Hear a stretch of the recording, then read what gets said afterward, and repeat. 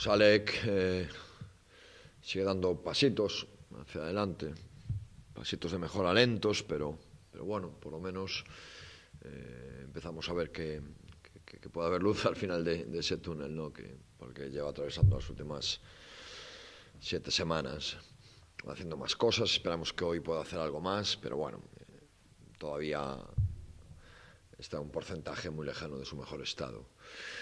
Y el otro...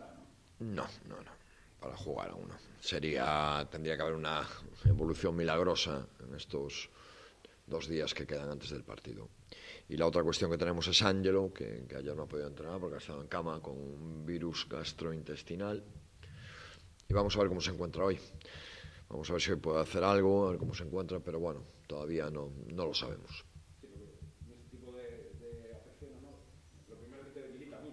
Eso, sobre todo, sobre todo eso, ¿no? La fiebre, la pérdida de líquido, bueno, pues un deportista se, se nota mucho. Le afecta más a un deportista muchas veces que, que a una persona que a una persona normal. Pero bueno, conociendo a Ángelo, yo creo que estará para ayudar seguro.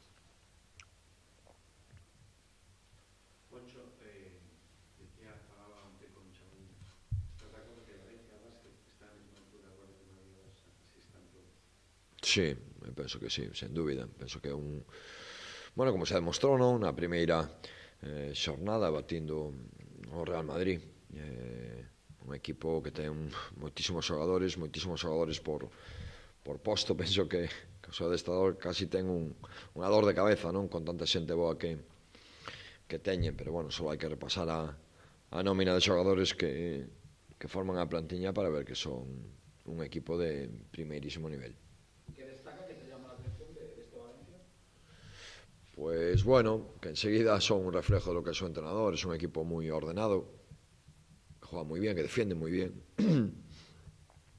y yo creo que hace muy bien todas las cosas que, le gustan, a, repito, a su entrenador, pero hechas por, o llevadas a cabo por jugadores de, de tanto nivel como los que, como los que tienen. Es un equipo muy solvente, me parece tiene muchos puntos dentro, fuera, en contraataque, un equipo serio, hace bien las cosas. Eso, yo creo que es la palabra, serio y solvente.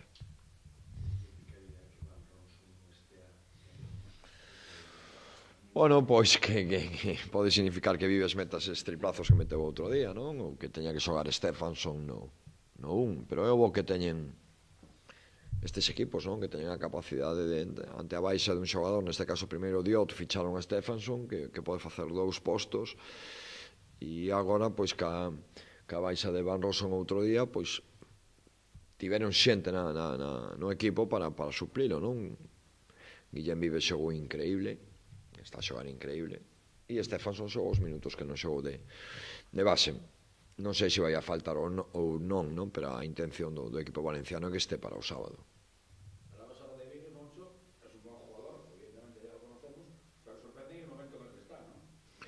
Sí, la, sabes que la confianza es un aspecto fundamental, ¿no? Y es, él es un jugador joven todavía, es decir, yo creo que aún no hemos visto la mejor versión de, Vives, la veremos, cada año será un poco mejor, sin duda, ¿no? Ya sorprendió el primer año que, que, apareció en la Liga Endesa de la mano de Juventud, su impacto fue, fue enorme, de ahí se fue a Valencia, y ahora, sin, sin, claro, teniendo que jugar él, sin la competencia de, de Diot y Van Rossum el otro día, pues lógicamente, bueno, es un campeón de Europa, ¿no?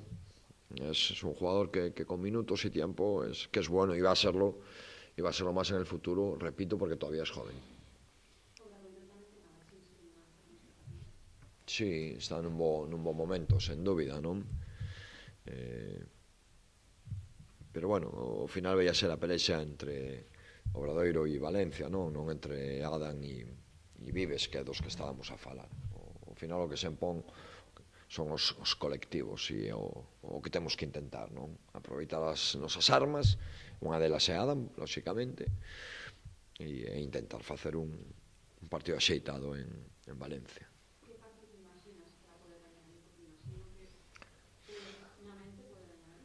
Por suposto, claro, como sempre, sempre penso que podemos gañar, sempre. E non, non é unha excepción Valencia.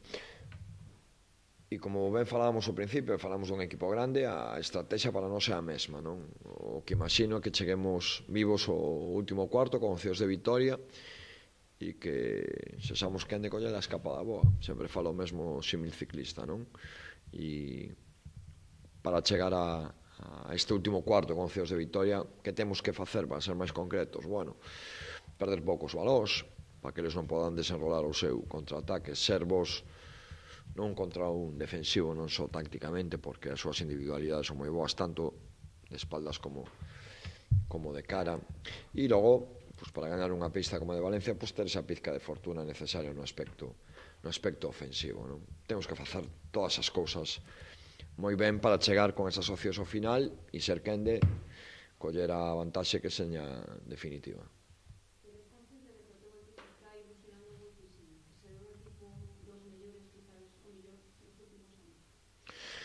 Non, non son consciente, non, non, pero pero da igual que seña ou non, eu estou moi ledo porque me digas isto, se ti, se ti o percibes así, non? Ou, ou a xente o percibe así.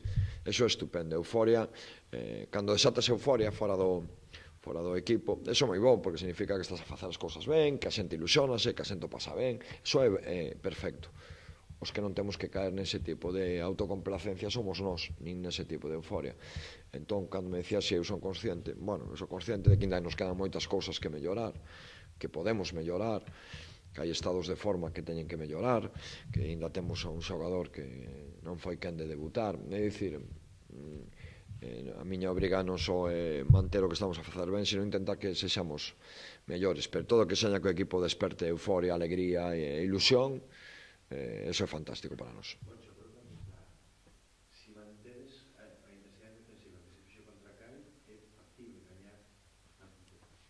Si, sí, home, hai que defender ben porque, porque como che decía, son moitos frentes abertos, non? Antes falamos de Guillem Vives como xogou outro día, pero bueno, Rafa Martínez xogou uf, tamén ou o mellor, non? E aí veñen despois o Sato, Stefanson, Lucic, bueno, poderíamos seguir con Dublevich, Hamilton e Surna, todos teñen moita calidade. Pois, porque Valencia está xogará Eurocup, pero podría estar xogando Euroliga perfectamente, non? Porque o seu plantel é un plantel de, de Euroliga, entonces para gañar estos equipos, por suposto que tens que defender con intensidade e con inteligencia.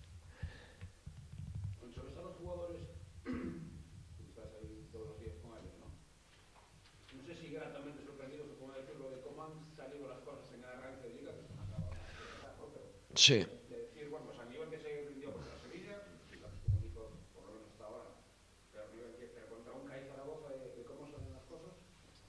Yo no diría sorprendidos, ¿no?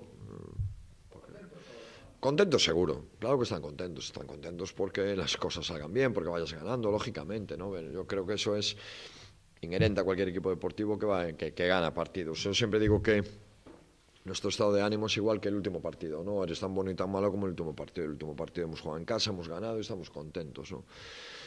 Pero mm, yo creo que lo que eh, empiezan a sentirse más cómodos, a entender mejor qué es lo que se espera de ellos, a conocer mejor a los compañeros, bueno, y todo eso luego se transmite en la pista en mejores o peores resultados. Pero yo creo que ellos también, como yo, son conscientes de que, de que aún nos quedan muchas cosas que, podemos hacer mejor.